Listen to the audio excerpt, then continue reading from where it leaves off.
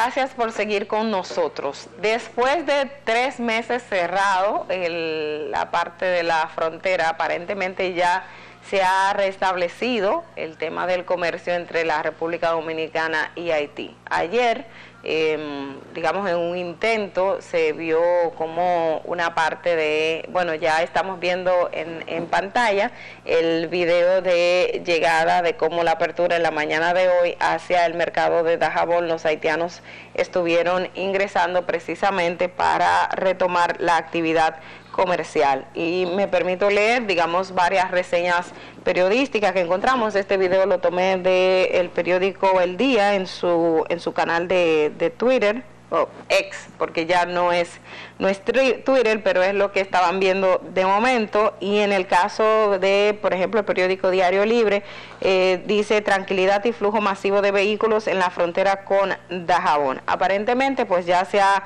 restablecido esta relación comercial. Recordemos que hace una semana, hace unos casi un mes aproximadamente, unas tres semanas, en República, República Dominicana llegó un expresidente, ahora me permito buscar el nombre porque no lo tengo fresco, em, para mediar entre el conflicto entre República Dominicana y Haití,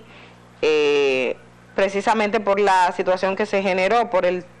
canal en el río Masacre, precisamente eh, con relación a, a, este caso. Ahora no, no encuentro eh, el nombre de manera muy específica, podemos bajar aquí, pero sí aparentemente ya está teniendo eh, algún tipo de efecto esta mediación que se ha estado buscando como alternativa hacia el conflicto generado por la construcción de eh, un canal en el río Masacre, que de hecho ya casi nadie habla de la parte del canal que en ese primer momento, en septiembre, recuerden, cómo, este tema acaparó toda la atención nacional e internacional, precisamente porque cuando se retomó la construcción de este canal que estaba suspendido, porque cuando República Dominicana eh, lo reclamó a Haití eh, a inicios del 2021, si mal no recuerdo, antes del asesinato del presidente Jovenel Moïse, pues eh, se suspendió, empezó la parte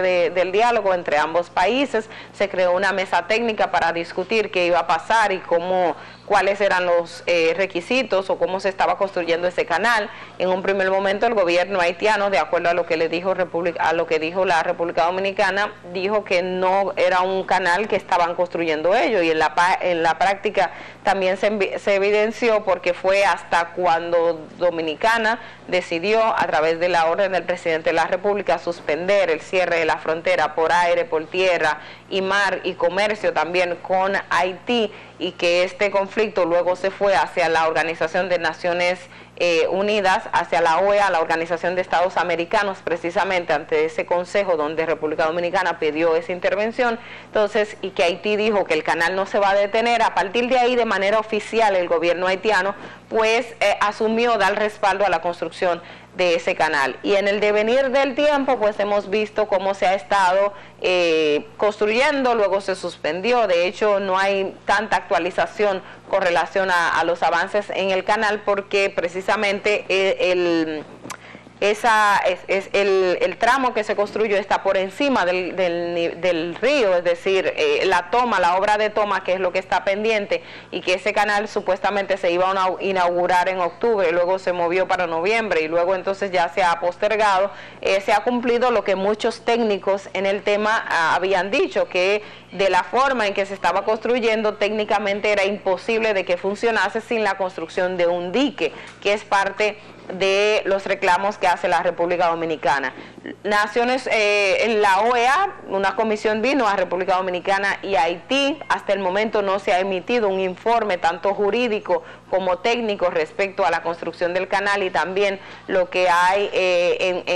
en, conflicto entre la República Dominicana y Haití, porque Dominicana dice que se viola el tratado eh, que se firmó, que firmaron entre ambos países para el uso equitativo de las aguas y Haití dice que no, que está haciendo uso de las aguas con el derecho que tiene de acuerdo al, acuerdo binacional que hay. Entonces, en ese sentido, la Comisión de la OEA está analizando eh, esos aspectos, tanto lo que Haití le haya proporcionado en cuanto a la construcción del canal, que no sabemos eh, si lo haya proporcionado, porque como el gobierno no era el que estaba a cargo de esa obra, sino particulares, entonces no sabemos la suerte eh, en ese contexto. Lo que sí, hasta el momento, es que después de que Dominicana dijo vamos a abrir nuevamente la frontera y vamos a crear un registro biométrico para que todo el que entre hacia la frontera o nuestro territorio tener un registro de quienes entran y quienes salen para poder intercambiar en el mercado y que los haitianos se hayan opuesto y que en, represalia pues cerraron también del lado de Haití que duró más tiempo cerrado de lo que ah, duró en el lado dominicano porque aquí solo fueron tres semanas de cierre de manera oficial por parte del gobierno, pero en el caso de Haití eh, el cierre se extendió hasta unos tres meses, al punto de que se estaba creando un mercado informal, improvisado, ya fuera del mercado tradicional en Dajabón, provocó una situación que obligó que República Dominicana emitiera una, una alerta, una nota diplomática en tono eh, enérgico, en tono de protesta hacia Haití, precisamente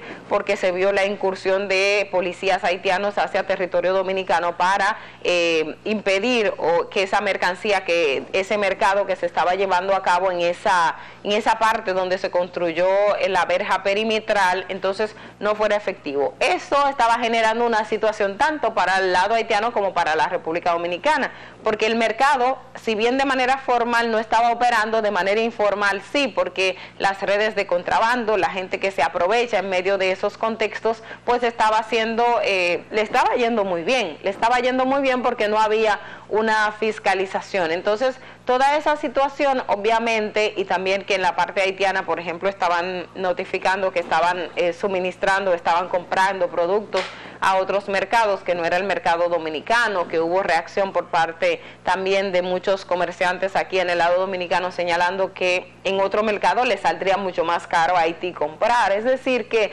esa situación que se dio en torno a la frontera, que no convino en ninguna de las dos partes, porque al final quienes más sufrieron fueron los más necesitados, porque la gente de la frontera es la que vive de manera muy específica de ese comercio. Los que viven en Dajabón, los que viven en Elias Piña, en Injimaní, me en el lado de Malpaso, o los que viven en Pedernales, que es donde también se da ese intercambio comercial, al final eh, fueron los más afectados. Fueron los más afectados porque son las comunidades que ahí viven, son las que conviven con las realidades de lo que implica ser una comunidad fronteriza. Entonces, en ese, en ese contexto, en el día de hoy, la información que, que tenemos hasta el momento, y ustedes vieron en el video, es que eh, ya estaban ingresando. Ayer se dijo que, y también está registrado en los medios de comunicación, que el aspecto a la recopilación del dato biométrico, y lo leí, yo creo que fue en Diario Libre, si mal no recuerdo, y es que no se estaba haciendo, no se estaba tomando la captura biométrica por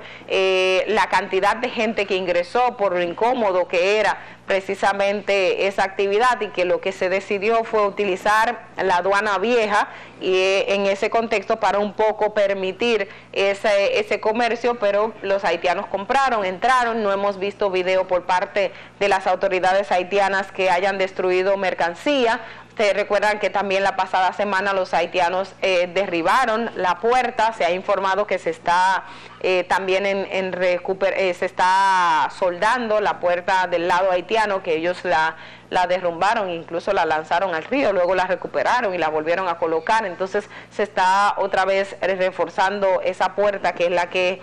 divide República Dominicana y Haití, tiene ese pequeño trayecto que se le dice tierra de nadie, porque es una división o digamos esa frontera entre los dos países. Entonces vamos a esperar cuál es el resultado final para el día de hoy. Mañana podríamos abundarle un poquito más respecto a esa situación que se ha dado en la frontera, pero de momento es el dato que se tiene y es el dato que estamos viendo en los medios de comunicación. Al menos hay un respiro para la comunidad de Dajabón